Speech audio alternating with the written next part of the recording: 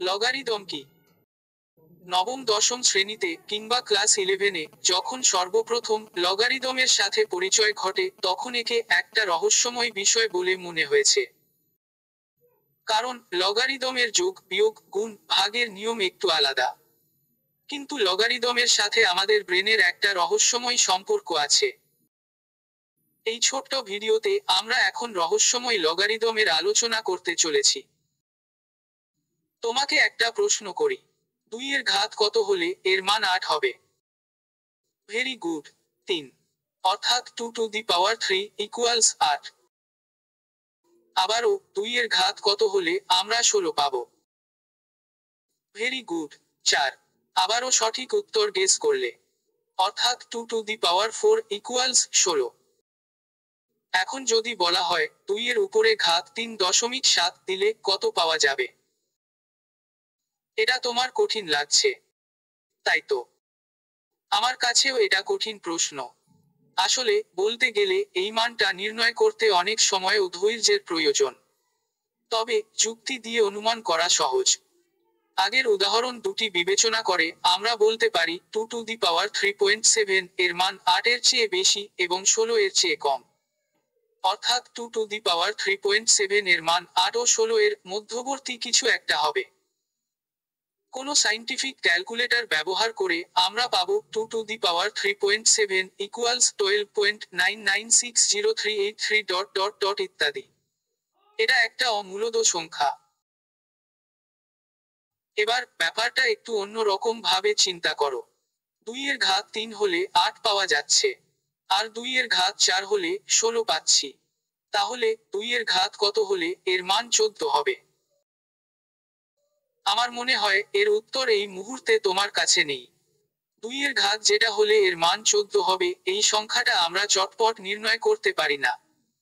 কিন্তু কোনো অঙ্ক কষতে গিয়ে তুমি দেখলে এই রকমের অজানা ঘাত বারবার চলে আসছে। তাহলে এই অজানা ঘাতগুলোর জায়গায় তুমি কি বসাবে? একটা শর্টকাট তো দরকার। দুইয়ের ঘাত যেটা হলে এর মান চোদ্দ হবে, সেটাকে সংক্ষিপ্ত রূপে লিখতে বা বোঝাতে হলে আমরা যে গাণিতিক চিহ্নকে ব্যবহার করি, সেটা হলো logarithm of fourteen to base দুই। অর্থাৎ two to the power logarithm of fourteen to base দুই ইকুয়ালস চোদ্দ। এইভাবে আমরা বলতে পারি বি এর ঘাত কত হলে এম পাওয়া যাবে। এর উত্তর হবে logarithm of M to base B অর্থাৎ B to the power logarithm of M to base B এর মান এম এক্সের ঘাত কত হলে এন পাওয়া যাবে? এর উত্তর হবে logarithm of N to base X অর্থাৎ X to the power logarithm of N to base X সমান এন হবে। তার মানে কি দাঁড়াল? লগারিদম হলো একটা ঘাত বা পাওয়ার কোনো নিধানের উপর কত ঘাত প্রয়োগ করলে একটা পরিচিত সংখ্যাকে পাওয়া যাবে? এই ঘাতটা হলো লগারিদম কোনো সংখ্যা বা রাশির বেস বা মূল জানি, কিন্তু ঘাত জানি না। এই অবস্থায় ঘাতকে সংক্ষিপ্ত রূপে লেখার জন্য লগারিদমের সাহায্য নেওয়া হয়।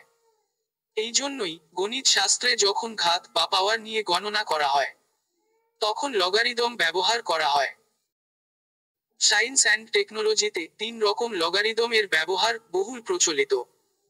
এগুলো হলো কমন লগারিদম ন্যাচারাল লগারিদম এবং বাইনারি লগারিদম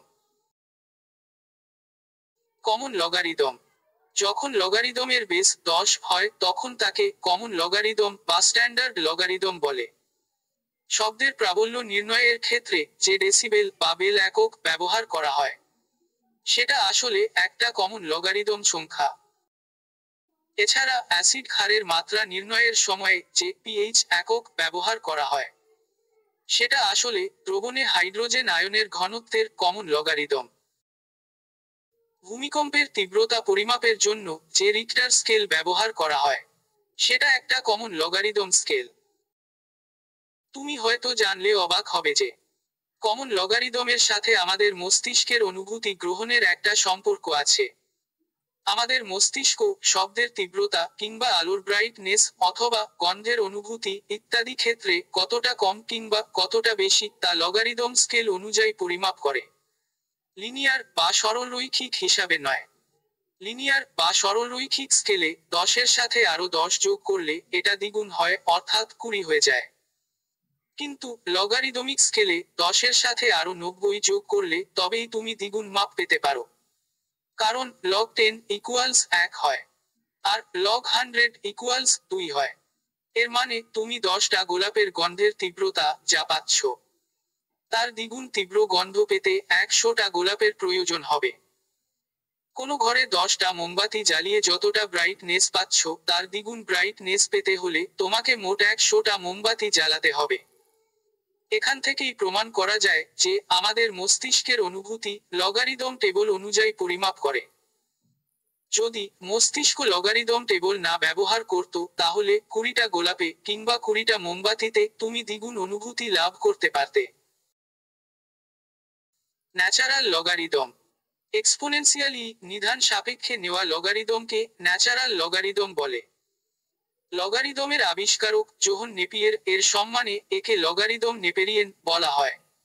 এটা ফ্রেঞ্চ শব্দ। সংক্ষেপে এলেন দিয়ে বোঝানো হয়। ক্যালকুলাস বা কলনবিদ্যার জটিল গণনার কাজে একে ব্যবহার করা হয়।